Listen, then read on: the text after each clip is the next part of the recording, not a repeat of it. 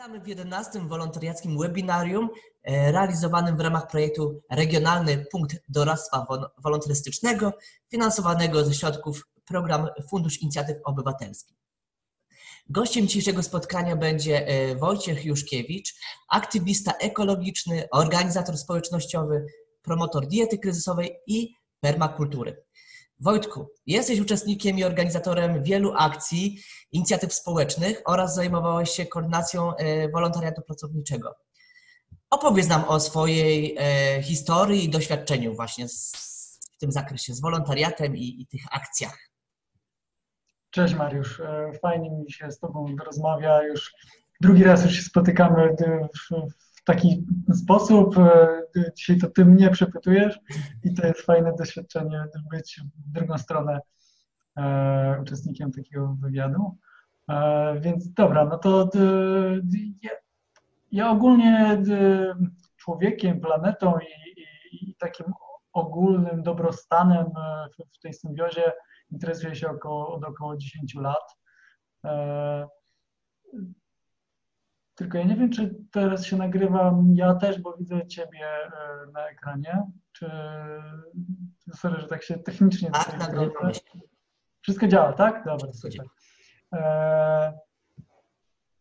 No to jak mówię, od 10 lat mniej więcej interesuję się tym, e, żeby nie, nie tylko mnie było dobrze e, w życiu, ale też, żeby wszystkim wokół mnie było dobrze bo, bo dzięki temu, że, że, że to dobro między sobą wymieniamy, no to ono rośnie i, e, i, i o to generalnie chodzi w życiu. Dlatego, dlatego od, od jakiegoś czasu zacząłem, poza tym, że, że, że robiłem jakiś taki aktywizm w, w social mediach, że po prostu udostępniałem informacje, które dla mnie były istotne i moim zdaniem były, były pożyteczne, E, to zacząłem e, współpracować z e, Patrykiem Białasem, który tutaj u nas w Katowicach jest bardzo aktywnym społecznikiem.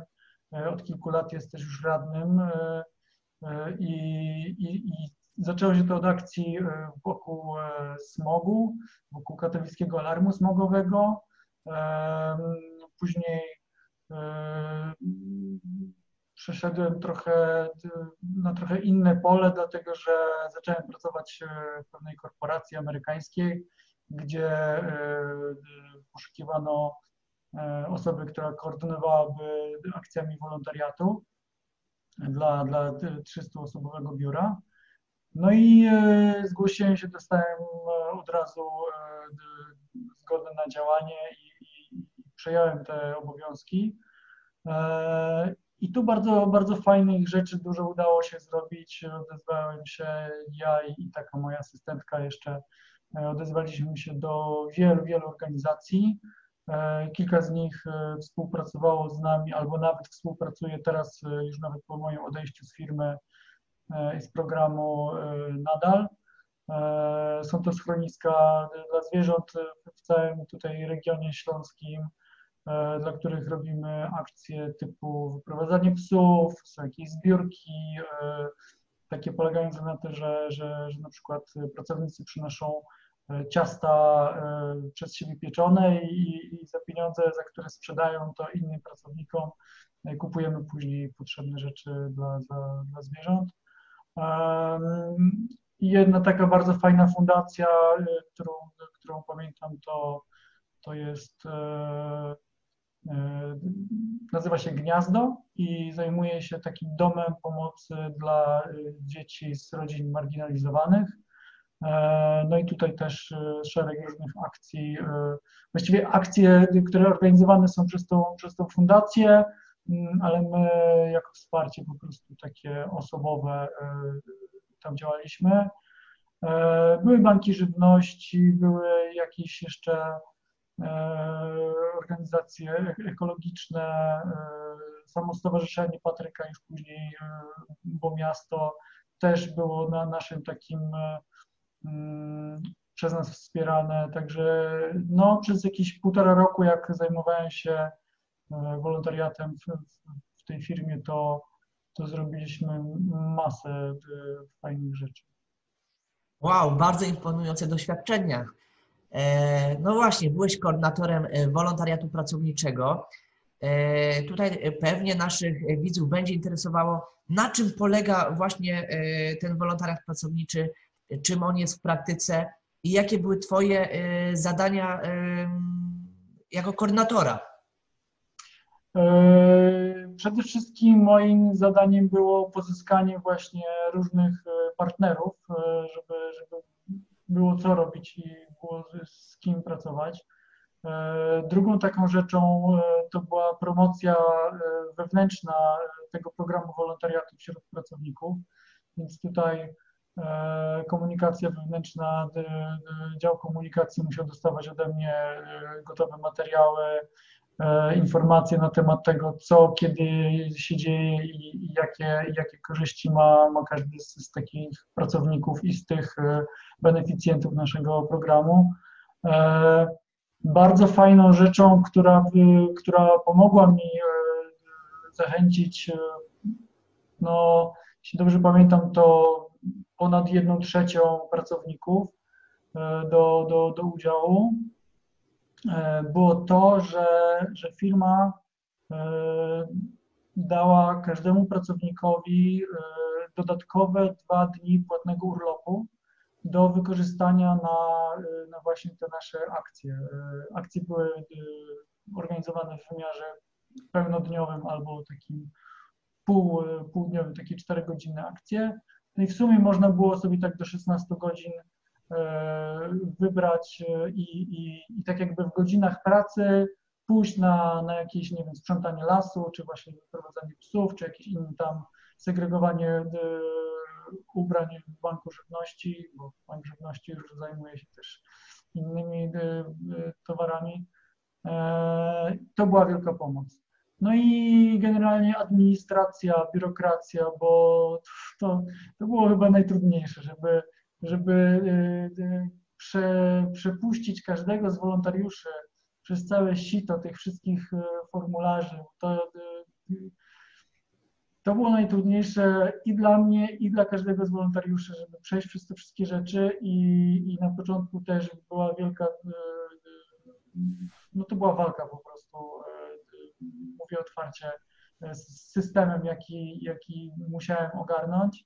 E, ale po, po paru tygodniach, miesiącach już, już było to na tyle, e, na tyle było to dla mnie zrozumiałe i dla całego biura, bo ja tak naprawdę biuro jest dość młode, ono, ono otwarło się w Katowicach e, pół roku wcześniej, zanim, zanim tam dołączyłem i to też była pierwsza taka inicjatywa wolontariatu w tym biurze i wszyscy tak naprawdę od, od góry do dołu uczyli się dopiero tego, tego wolontariatu i całego tego systemu, więc e, tutaj e, no, był ogrom pracy, ale, ale, ale ogarnąłem to wszystko i byłem w stanie przekazać to już później moim takim e, ambasadorkom, które dołączyły do, do teamu, którym zarządzałem przez jakiś czas, a później, a później jedna z nich zastąpiła mnie jako lidera tego, tego programu i też e, no już bez, bez trudu ją poprowadziłem przez, przez wszystkie kroki, które na początku były trudne. Mhm. A czy łatwo jest zachęcać e, swoich współpracowników i innych interesariuszy do, e, do takiej aktywności, do wolontariatu? Jakie są w ogóle ich motywacje do tego, żeby brać udział w tej, tej aktywności? To zależy. To wszystko zależy od indywidualnej osoby. Są tacy, którzy garną się od razu i, i sami dopytują o to, co mogą zrobić. E, są tacy, którzy pójdą na jakieś e, łatwe akcje chodzenia po parku z psem w ładną pogodę, tylko po to, żeby wybrać sobie e, darmowy czas wolny i nie pracować w tym czasie. Pomiędzy nimi jest, jest całe spektrum jeszcze różnych innych przypadków.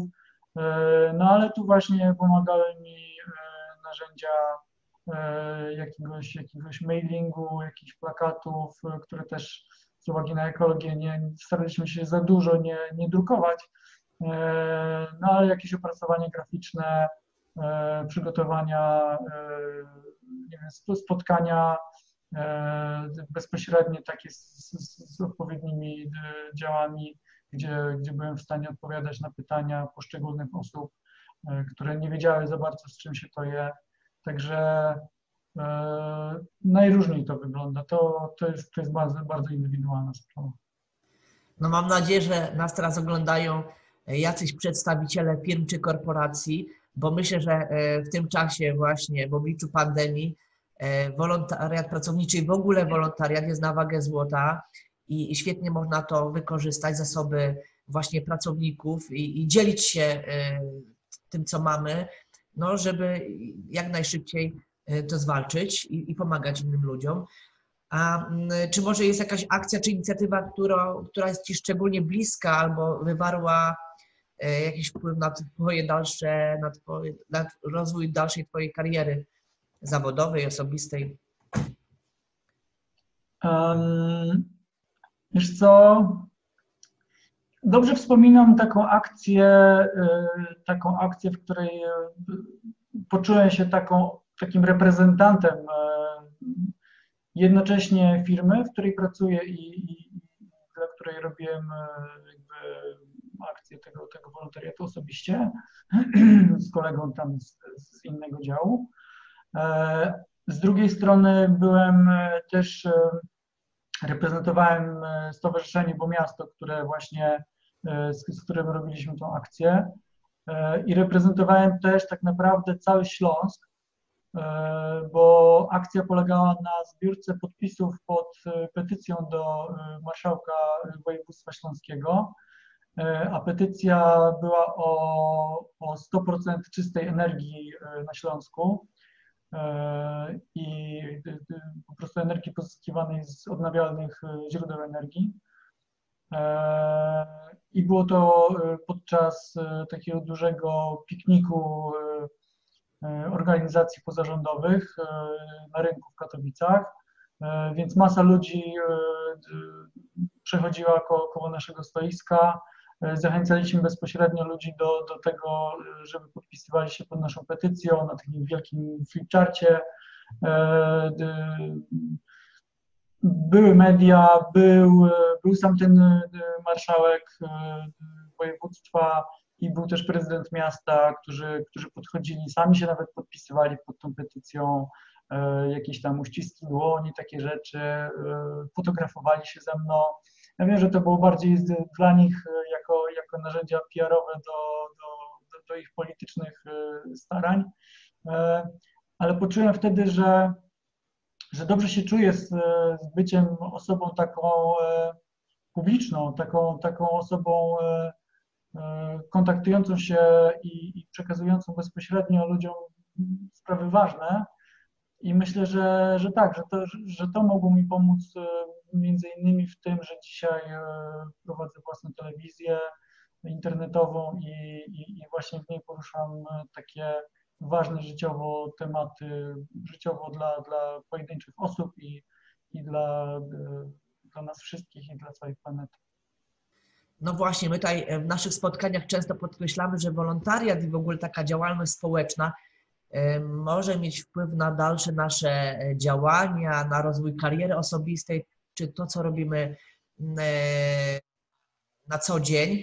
I tutaj e, Twoją kolejną inicjatywą są właśnie e, działania w mediach, w social mediach i e, internetowa telewizja Transfer Dobra TV, którą e, zarządzasz, można tak powiedzieć. Opowiedz coś o tej inicjatywie. No, zarządzam, e, a właściwie robię w niej prawie wszystko, poza, poza chyba e, jedną audycją, którą e, przekazałem już człowiekowi, który się nią zajmuje w pełni.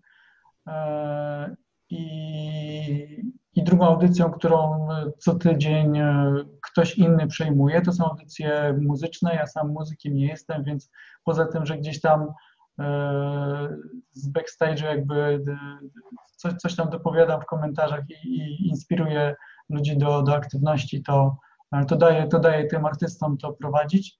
E, ale telewizja powstała z tak trochę spontanicznie. Ja e, przyszedł taki moment, że, że stwierdziłem, że chcę e, wypowiadać się e, właśnie w takich live'ach na, na, na Facebooku. Zauważyłem, że, że inni to robią, że, że mają jakieś ciekawe rzeczy do powiedzenia. Ja też wiedziałem, że mam ciekawe i pożyteczne przede wszystkim rzeczy do powiedzenia.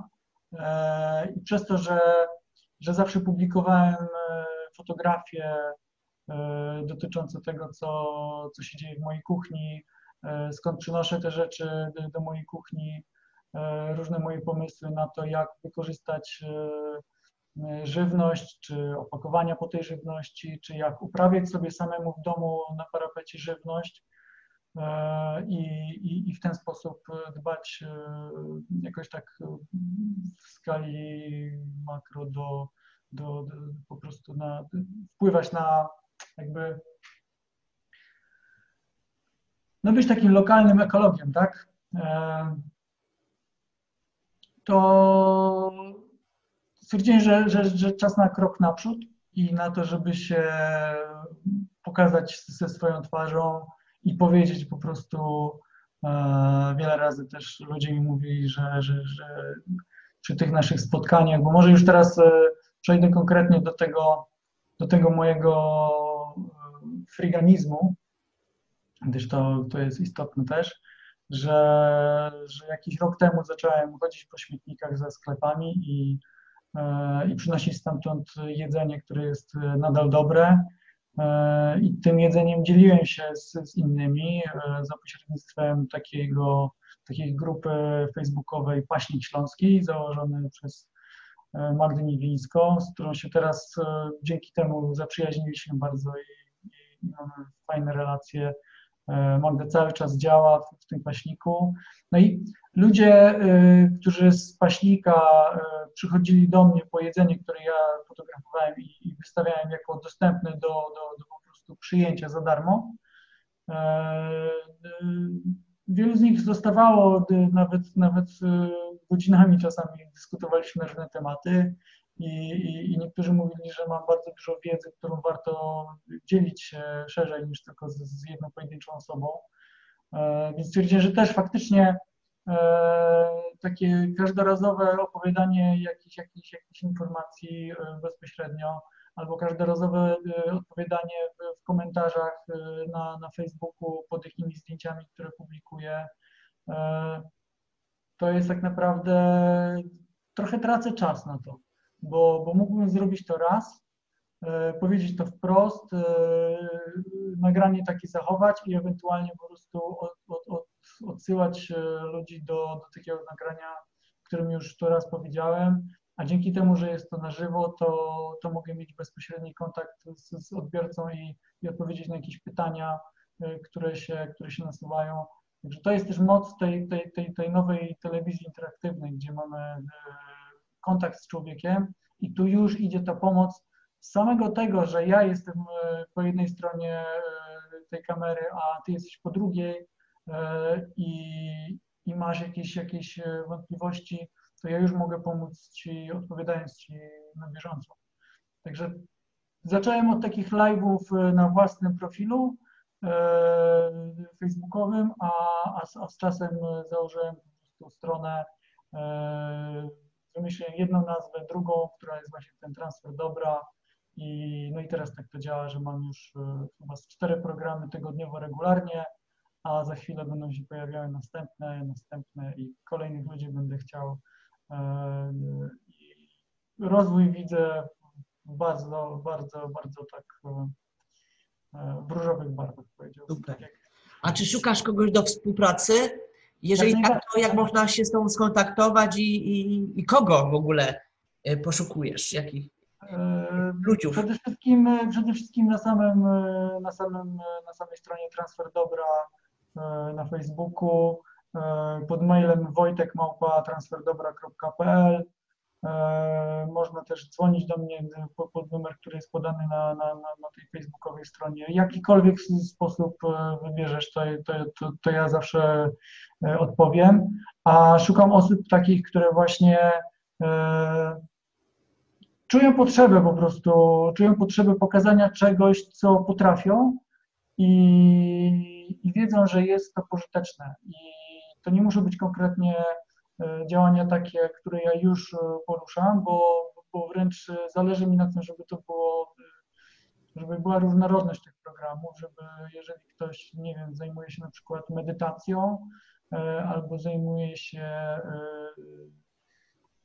czymkolwiek, no co, co, co, co, tam wymyślicie, co, co, co uważacie, że, że może być pożyteczne dla innych, to mogą być jakieś kursy, jakie, jak, jakiekolwiek rzeczy. Naprawdę, jestem otwarty na, na wszystko, co jest po prostu niesieniem dobra do drugiego człowieka.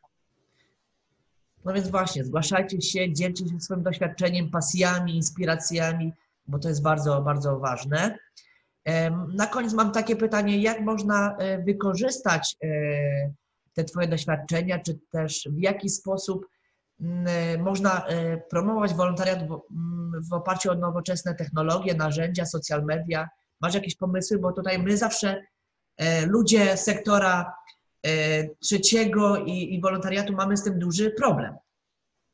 No ja właśnie widzę samą tą telewizję już jako, jako taką formę wolontariatu, dlatego że, dlatego że ja niosę konkretną wartość dla ludzi, którzy jej potrzebują i e, wydaje mi się, że, że, że wprowadzenie właśnie takich, no w tej chwili, kiedy, kiedy większość ludzi nie wychodzi z domów, e, właśnie prowadzenie takich audycji online na, na własnych kanałach, czy na takich właśnie jak mój skupiających przyszłości niedalekiej osoby chętne do, do dzielenia się swoją wiedzą. Jest bardzo dobrą formą e, pomocy. E, dobrze jest znaleźć sobie swoją jakąś grupę docelową, do której chce się trafić, e, typu, nie wiem, osoby starsze, samotne matki. No, ty, ty sam sobie znajdź po prostu, do kogo, do kogo wiesz, że jesteś w stanie trafić najlepiej. I, i działania takie właśnie edukacyjne, wydaje mi się, są, są chyba naj, najbliżej, e, najłatwiejsze do ogarnięcia online. E, to mogą być na przykład, to może być pomoc już konkretnie e, jakby wyjście do osób, które, które później mogą się zgłosić do Ciebie bezpośrednio i na przykład poprosić, słuchaj, bo ja bym chciała tutaj wypisać jakiś tam wniosek do jakiegoś urzędu, i czy możesz mi pomóc to zrobić e, za pomocą cyfrowych e, narzędzi jesteśmy w stanie coś takiego zrobić, nie? Albo na przykład, nie wiem, e, ktoś potrzebuje jakiegoś tłumaczenia z innego języka, ty to potrafisz, albo ktoś chciałby zacząć zarabiać pieniądze online i, i, i, i potrzebuje na przykład nauczyć się jakiegoś programu specjalistycznego typu grafika, dźwięk, jakich, jakikolwiek rzeczy, które ty potrafisz. E, jest masa ludzi, którzy tego nie potrafią i, i właśnie edukacja i, i poprowadzenie po prostu jakichś kursów e, to jest dla mnie pierwsze, pierwsze co, co, można, co można robić. No i też takie działania takie, takie wspierające mm, mentalnie, duchowo, ludzi, którzy, którzy w tej chwili niejednokrotnie y, już, już, już albo ich już dotknęła, albo za chwilę dotknie ich depresja z powodu tego, że, że są pozamykani, e, poblokowani i przestraszeni e, medialnymi informacjami, które, które są, którymi są bombardowani z, z lewej i z prawej. E, spodziewam się, że to się bardzo mocno odbije na, na, na, na wielu procentach społeczeństwa. E, i, i wsparcie takie właśnie e, duchowe, psychiczne jest, jest, jest na wagę złota tutaj. Także takie, takie rzeczy ja bym widział. No super, tutaj bardzo duża garść inspiracji, dobrych rad. Na pewno nam się tutaj przyda i naszym e, widzom i obserwatorom. Ja Ci bardzo dziękuję za, za tą rozmowę i, i za te wszystkie pomysły, którymi się podzieliłeś z nami. A naszym gościem był Wojciech e, Juszkiewicz, aktywista, redaktor Transfer Dobra Telewizja. Zapraszam na, na strony Wojtka, na, na social media, tam znajdziecie e, informacje o jego działaniach. A jeżeli Wam się podobało dzisiejsze spotkanie, zachęcam do tego, żebyście nas subskrybowali, dawali łapkę w górę, udostępniali nas, nasz kanał e, i oczywiście wspierali na Patronajcie, jak również kanał Wojtka E, który też tam możecie znaleźć, bo to jest bardzo ważne, możemy dalej działać. Dzięki serdeczne. Dziękuję bardzo i przypomnę tylko, że na Facebooku jestem jako Wojtek, nie jako Wojciech, więc tak mnie będzie łatwiej znaleźć. No właśnie. No. To dzięki. Cześć.